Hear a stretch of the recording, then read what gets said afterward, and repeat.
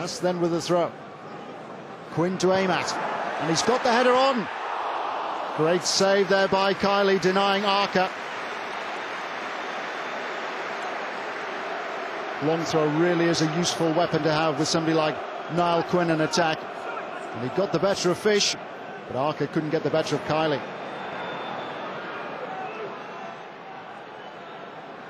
Here's Fish. That was a magnificent crossfield pass towards Powell. Gray to clear the danger. He's got unhappy memories, of course, of Charlton Athletic having missed that penalty in the shootout decider at Wembley a few years back.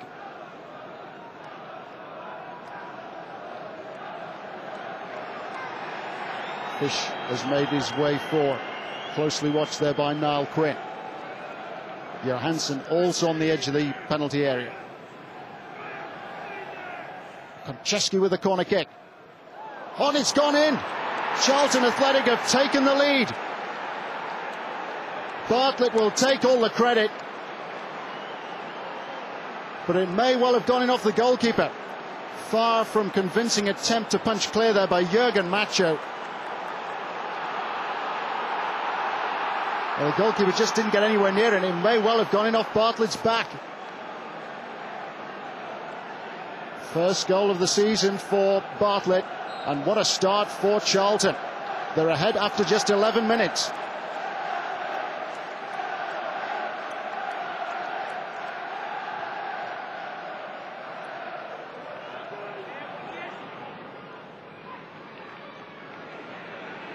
Here's Gray.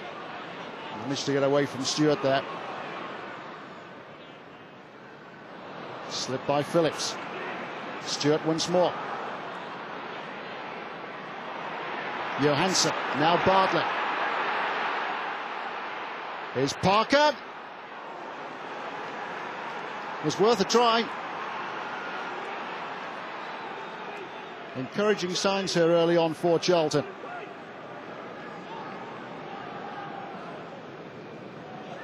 Parker with the time there to go on.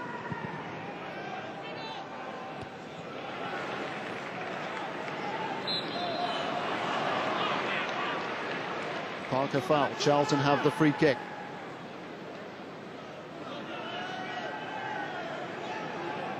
Mark Kinsella standing over this. What a difference he has made. Back from injury now.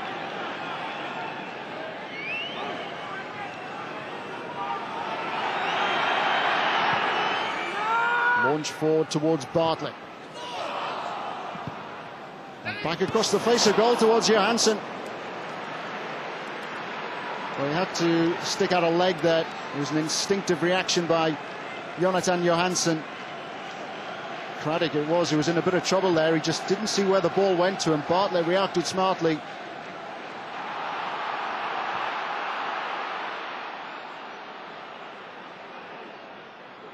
Here's Phillips. Gray offering good support. On to Quinn, and now McCann. Brilliant stop by Kiely. Great opportunity for Sunderland, and what a save again by Kiely. Charlton there guilty of backing off a little bit. Intelligent play by Quinn. Goalkeeper spread himself well. Hasn't been a comfortable first half for the Sunderland manager.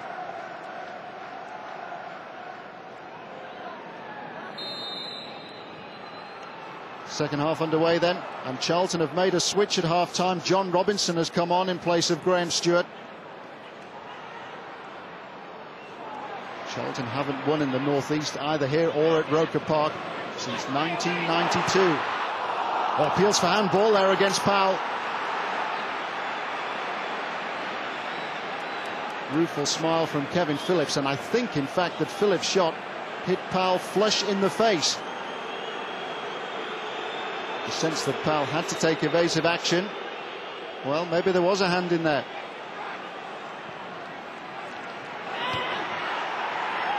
Charlton forced to defend in greater numbers now, it seems.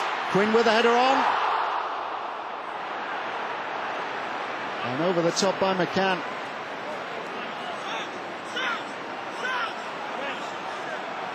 Sunderland continuing to press. Quinn again making his presence felt.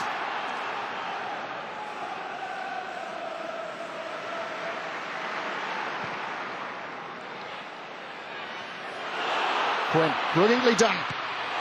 Good save by Kiely.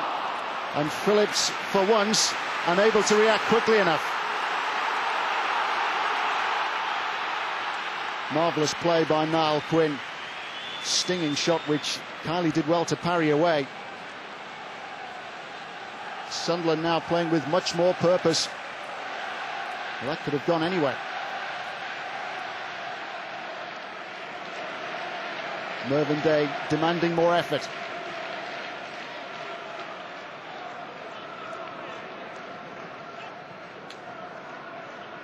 Here's Young. On towards Bartlett. It's cleverly worked. And Parker now encouraging the Charlton supporters to make their presence felt.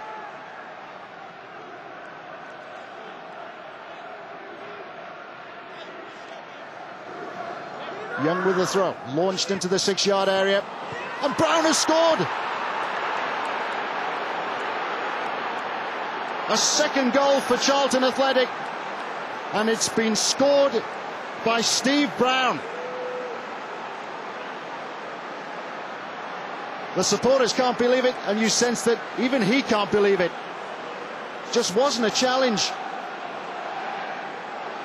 Macho rooted to the goal line and beaten by that looping header from Steve Brown. It's getting better and better for Charlton.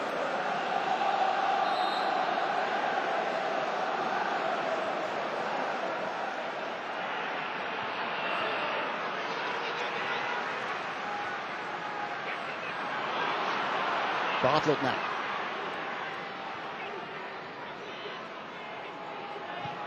Kinsella.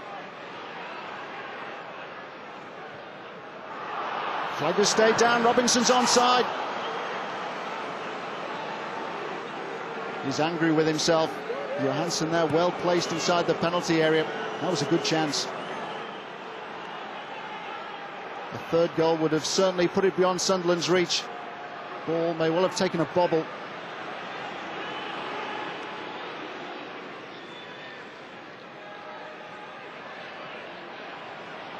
Parker. Still with Parker, he's done well here. He's got two to aim at inside the penalty area. Robinson also arriving. Johansson shot charged down.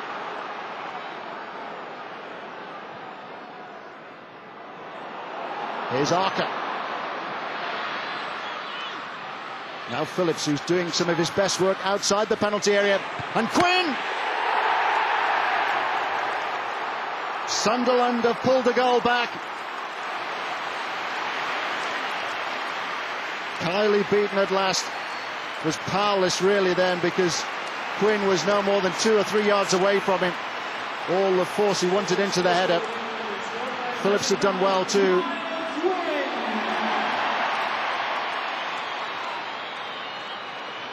Charlton being stretched at the back. Terrific running by Phillips. And that was a good finish from close in by Niall Quinn.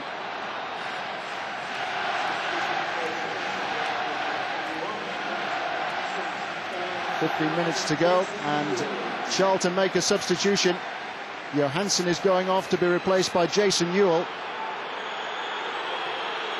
Sunderland supporters not happy that Johansson there was just uh, ambling off. And Euell will be forced back here to do a bit of defending. Sunderland free kick there. Lots of movement inside the penalty area. Oh, Quinn! He's got another one!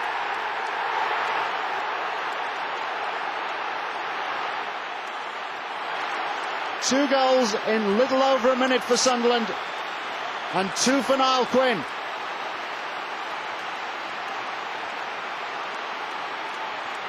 Well, Peter Reid, the manager, says that Niall Quinn is priceless, and you understand why. 34 now, Quinn.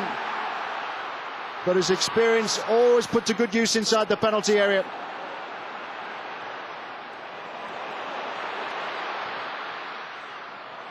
Powell's header clear. Charlton desperately hanging on now. Quinn once more up there with Arca.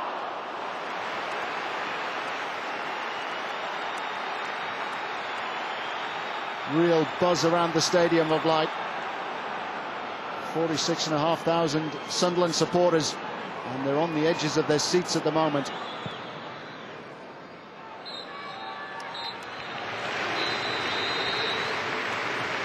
A handshake for Alan Curbishley from Peter Reid.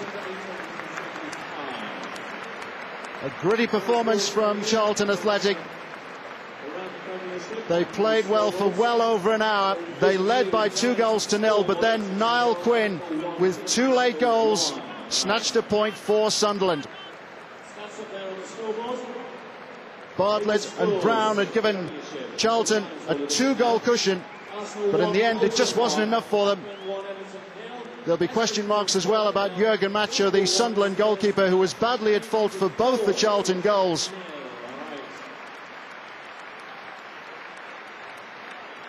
But there are positives to take from this for Charlton Athletic. They're still unbeaten away from the Valley this season. At the Stadium of Light, it's finished Sunderland 2, Charlton 2.